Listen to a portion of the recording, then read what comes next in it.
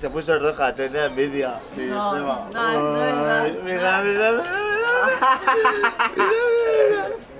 Cállate, cállate. Así, así estamos en el Tamendi todos los días, como el perro y el gato.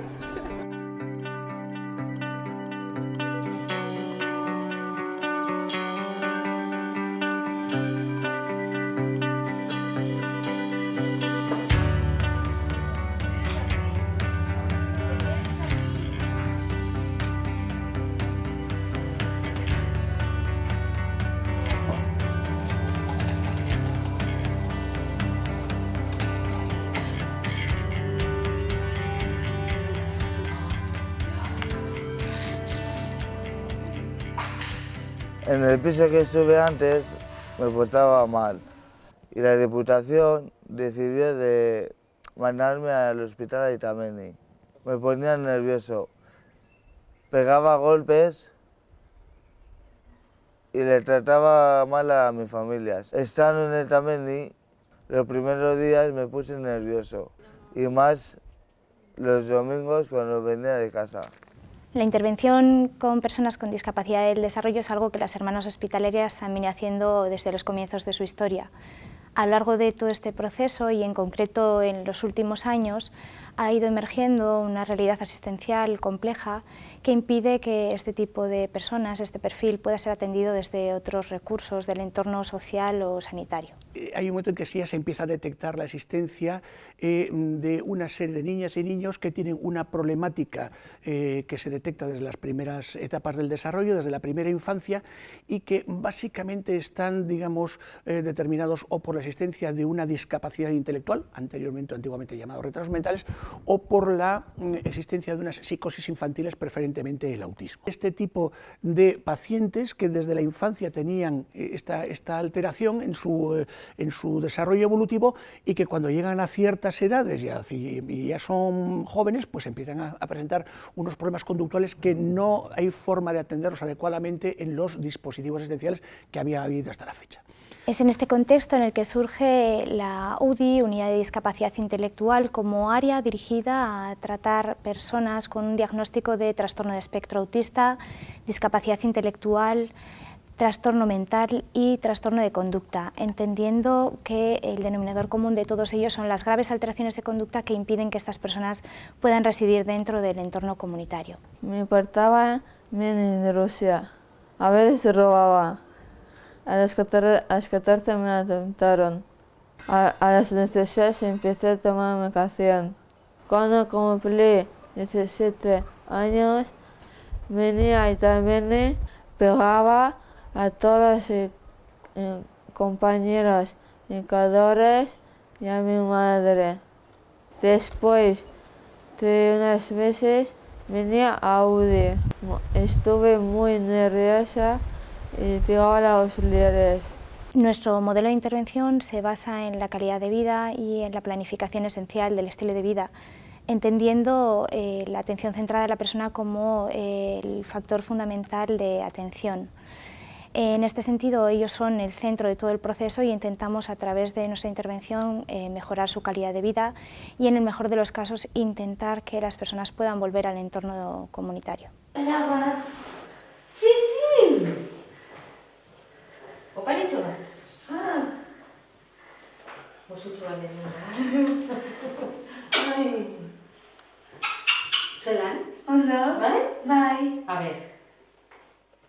Beterreko barria. La caja pistacho colorea, jatzen, Yo cuando fui a adoptarle a Lore con cinco añitos, mm, yo pedí un niño o niña con problemas visuales, porque yo tengo degeneración macular, llevo cuarenta y tantos años afiliada a la ONCE, es un mundo que conozco y yo sabía que, que le podía ayudar. El tema cuál fue que vino con catarata congénita, pero con muchísimas más cosas. Y eso ha sido bastante duro, bastante duro. Lo que pasa es que a un hijo se le empieza a querer y, y hay, que, hay que afrontar como si fuera un, hijo biológico. No hay más. Es lo que hay y hay que hacer frente. Bueno, hasta llegar aquí, ya con 14, 15 añitos, se le notaba ya en casa que, que tenía algo, yo no sabía lo que era. Ya con 17 eh, hubo que sacarle de casa porque, porque no se le podía contener en casa. Había riesgos y, y no era el sitio adecuado para ella. Hasta que Diputación tomó parte y dijo que el mejor centro para, para Lore era este, Aitameni. Y bueno, a partir de ahí, pues yo creo que la niña va mejorando con, con, sus altibajos, que va a tener siempre, por lo visto. Yo no sé si se va a curar algún día. Es un interrogante que tenemos lo mismo ella que yo, porque bueno, ella siempre me está diciendo, cuando me cure a macho, pues vamos a hacer esto, vamos a hacer lo otro. Y le digo, bueno, pues cuando te cures ya veremos qué cosas hacemos.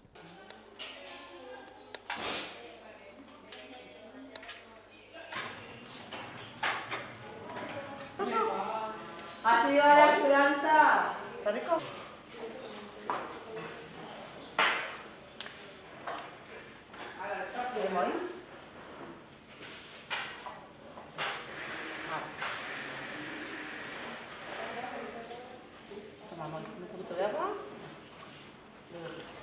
Una parte muy importante eh, en la que nos centramos también es, el seguimiento farmacológico.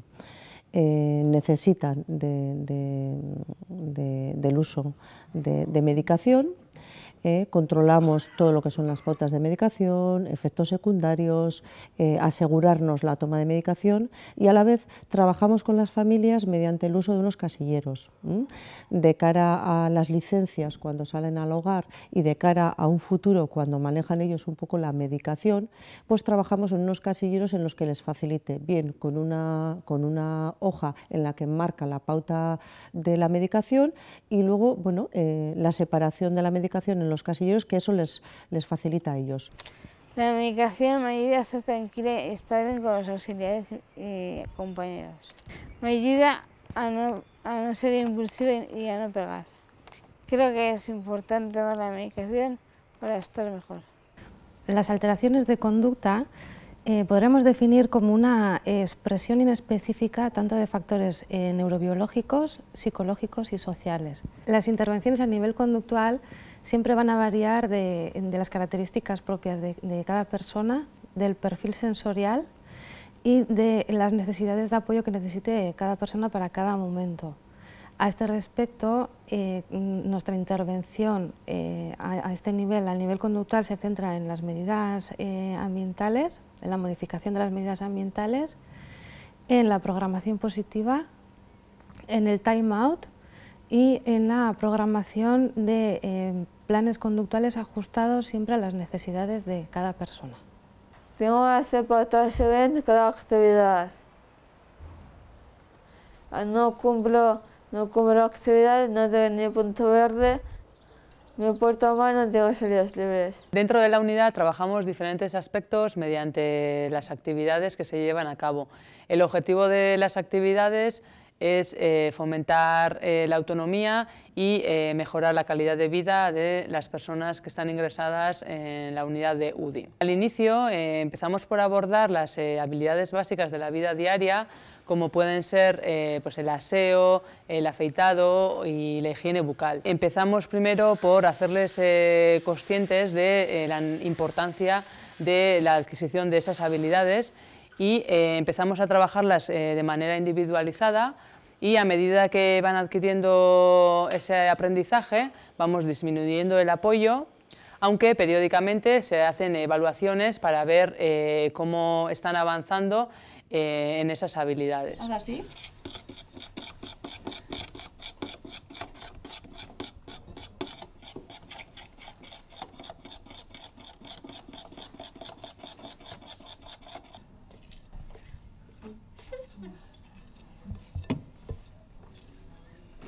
Una vez de que esas eh, habilidades estén ya interiorizadas, eh, se ponen en práctica eh, en un entorno comunitario, como por ejemplo pues en una salida eh, al mercadillo y eh, en el manejo de dinero.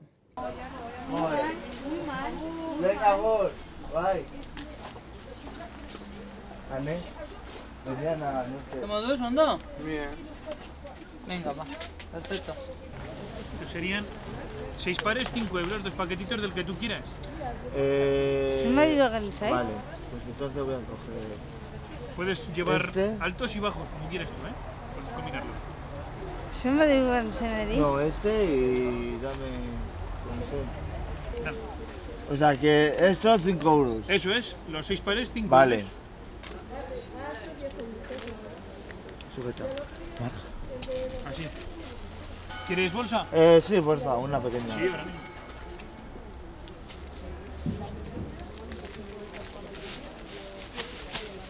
Pásame, por favor, si puedes. Ah, sí. Dame y te pongo una bolsita. Eso es.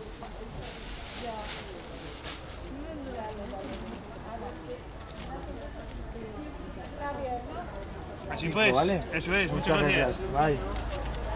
Dado que tenemos dos perfiles diferenciados de, personas dentro de la unidad, eh, eh, con las personas con un trastorno espectro autista eh, hacemos actividades muy específicas e individuales con ellos, utilizando las salas Snowselen, el método TEACH o utilizando también sistemas aumentativos o alternativos de comunicación.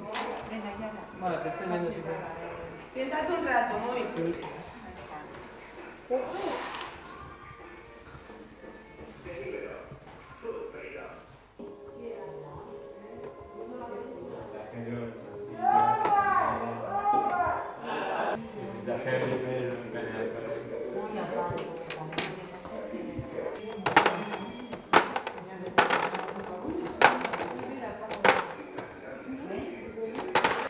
Eh, nosotros siempre con las familias lo que sí hacemos es, antes de ingresar a su familiar, eh, hacemos una visita y les enseñamos un poco el hospital, la unidad y la dinámica y lo que trabajamos y, bueno, pues toda la metodología de trabajo eh, que vamos a, utilizar o vamos a llevar a cabo con sus, familiares. Una vez el, ingreso sí que consideramos importante la presencia de la familia y la participación en todos los, los órdenes de, bueno, pues en todos los aspectos que vamos a trabajar. Cierto es que las familias normalmente vienen as- muy, muy asustados porque es, muchos suelen decir que es el último, una- el, el final del túnel, de alguna manera.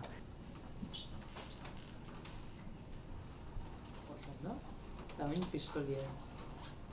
Ah, bueno, no. Ainhoa. Ainhoa, en una playa. Desde el año y pico así no empezamos a notar que tenía algo, eh, porque bueno, básicamente hacía cosas que otros niños a su- edad no hacían. La infancia fue un poco descubrir qué es lo que pasaba. Nos explicaron que podría ser un tipo de autismo lo que tendría Ander. Efectivamente es lo que Ander es espectro autista. Eh, empezamos a, a buscar mm, cómo poder atenderle, cómo seguir adelante con él y entonces topamos con la Asociación de Autismo de Vizcaya y mediante ellos, pues con ayuda de ellos, pues eh, Ander estuvo eh, integrado en escuela ordinaria eh, con un apoyo, con una persona de apoyo, eh, hasta que ya empezó él a estar un poquito solo y entonces ya empezó a estar en aulas, de- en aulas estables de centros donde las disponían. ¿no? Pero llega un momento en el que tampoco es viable el que estuviera allí. Yo me encuentro en un estado de estrés, de hecho estoy por una baja por estrés, eh, y entonces la familia es la que me ayuda a tomar la decisión de que Ander tiene que entrar en, esta, Aitamení, en la plaza que le corresponde. Primeras sensaciones como dónde va a ir mi hijo, quién le va a entender como yo y tiene que empezar de cero, eh, no puede ser que allí esté bien, ni allí ni en ningún otro sitio. Pero con el tiempo, pues vas viendo que obviamente son profesionales y que conocen el tema y que aunque cada uno de los enfermos mm, sea diferente, pues bueno, que consiguen eh, un poquito, vamos a decir. Eh, mi sensación al principio fue como de abandono hacia él, pero de liberación, de que bueno, pues empiezas a dormir, empiezas a hacer un poco vida más normal Y ese es un poco el proceso del inicio del ingreso. Eh, bueno, de, Ander lleva como un par de años ingresado aquí eh, y los beneficios que podemos eh, mm, observar es que él está más tranquilo, que la rutina que aquí tiene con las normas que se le han impuesto las ha aceptado sí o sí y que eso le ayuda un poco en el día a día. A mi izquierda tenemos el taller de jardinería y reciclaje. A mi derecha tenemos el taller de papelería. Un poquito más atrás tenemos las manualidades y al fondo el gimnasio. Aquí, en este hospital, se podemos hacer un montón de actividades, un montón de talleres.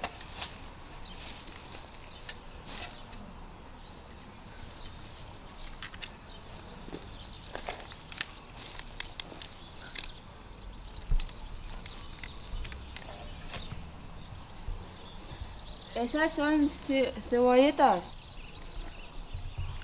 ¿Ves?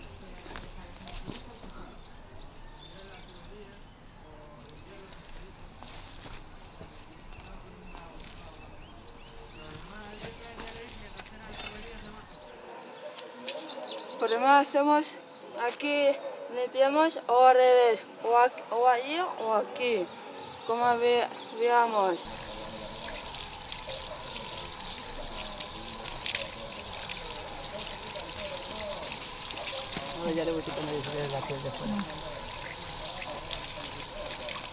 Salen fuera, tienen unas actividades, hay días de la semana que se sale fuera, pues, eh, al, pues al mercadillo, a la piscina, excursiones.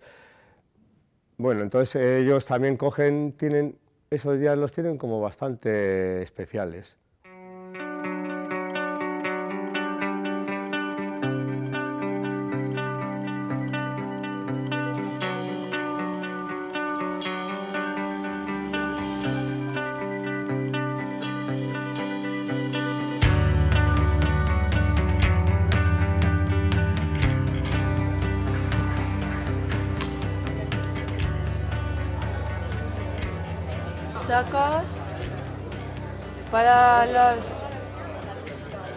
La, la espalda, el cuello, no, los cuadernos,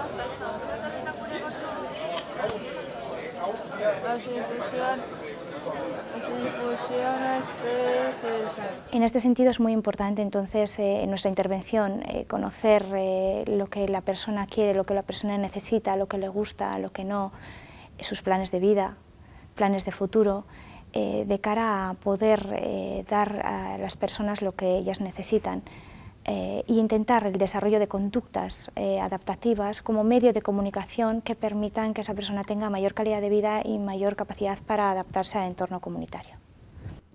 A mí me gustaría que me dieran el alta de Itameni, ir al piso de Achegui de Eibar, luego de ahí primero ir a un módulo medio para sacarme tercero y cuarto y luego más tarde ir otra vez volver a Gurak de Ibar. Eh, irme de alta de, de Tameni, estudiar, estudiar la ESO y luego estudiar informática. Y ahora me encuentro bastante mejor más estable, más autónomo, más con salidas completas. He mejorado por los nervios, que eso me provocaba ataques epilépticos. Y luego después también de la violencia, los brotes psicóticos y bueno, yo desde que ingresé en el hospital era, era que me ayudaban a frenar hasta un límite y luego diciendo, mira, puedes pasar por esta puerta. ¿Tenías amigos que te aconsejaban bien? Y si no fuera por mi amigo Joseba, que también me ayudaba. Porque eras el único amigo que tenía. Muchas veces te he sacado de las castañas del fuego. Hace cinco meses empecé a trabajar en, la unidad de UDI y yo antes había trabajado en unidades como daño cerebral o personas con trastornos mentales, pero es verdad que nunca había trabajado con personas eh, con autismo, pero después de cinco meses me he visto eh, capacitada para trabajar con ellos e intentar ayudarles a mejorar y la verdad es que es un colectivo que transmite mucha cercanía y me gusta mucho trabajar con ellos. Bueno, pues me, me siento realizada en el sentido de que cuando ellos eh, me buscan o veo que me necesitan, el poder estar con ellos, el poder eh, aconsejarles, el poder darles y ofrecerles mi cariño en un momento dado, no con todos, ¿verdad? Porque cada uno a su nivel, eh, no son todos iguales, por supuesto, y creo que eso, yo durante los 10 años que he estado aquí, pues sí que noto un, un balance positivo desde que empecé, que claro, cuando empecé Tampoco conocía la discapacidad intelectual, eh, el autismo, los diferentes grados de autismo que existen y claro, el día a día aprendes un montón con ellos.